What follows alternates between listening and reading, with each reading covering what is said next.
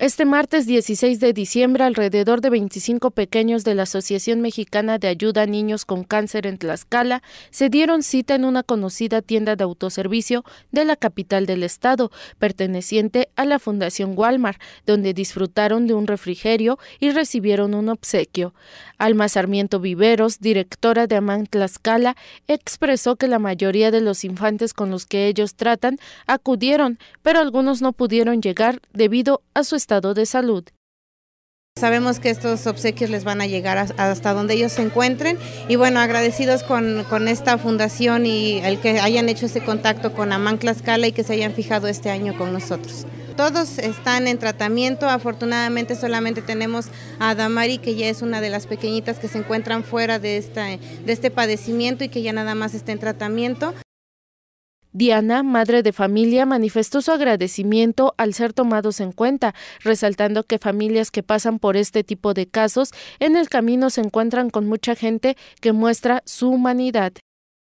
Mucha gente llegaba a darnos cenas, regalos, o sea, gente que pensaba en nosotros, que en la vida pensé que hubiera gente que volteara a vernos.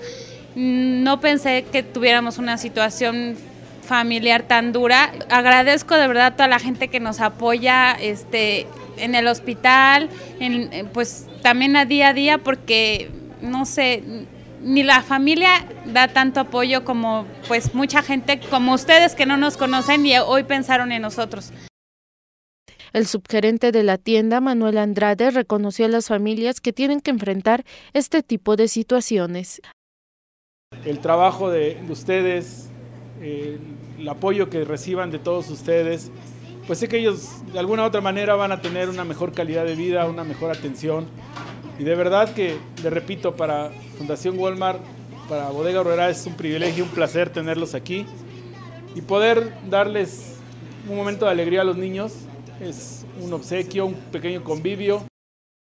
AMANG es una asociación civil que apoya a niños que padecen diferentes tipos de cáncer a través de múltiples campañas. Para conocer más de ellos puede visitar el albergue ubicado en Privada 20 de noviembre número 139 en San Matías Tepetomatitlán o en sus oficinas ubicadas en Primero de Mayo número 53, Interior 5, Colonia Centro, Tlaxcala.